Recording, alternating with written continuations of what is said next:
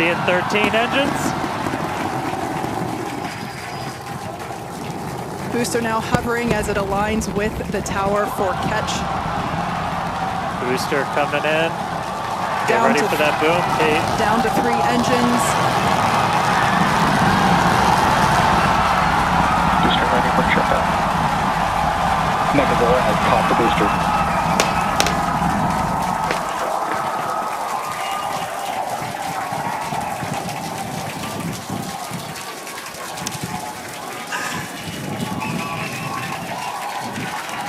You heard it here. Mechzilla has caught the booster.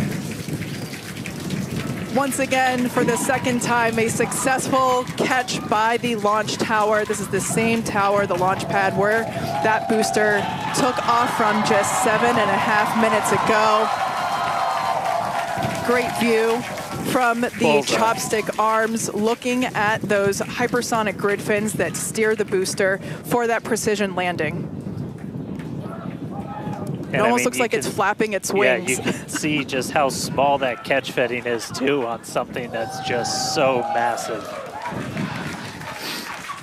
that was absolutely insane.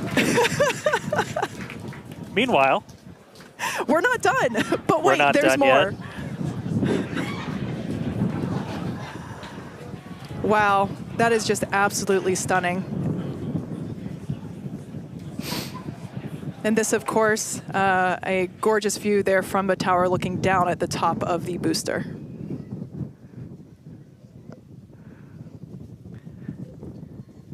all right, and we are tracking. Now we're standing by for um, views from the ship, but who can take their eyes off of that incredible sight?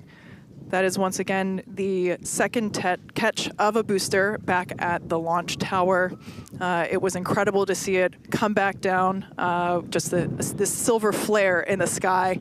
Uh, and we can still see the launch plume behind us and wow that we we uh, we definitely uh, I, I can't speak for you dan but uh, that was very moving for me Yeah, uh, and right now you can see some of the telemetry on those ship engines has gone out, and we're waiting for an update on what our ship status is. We were approaching uh, that ship engine cutoff time,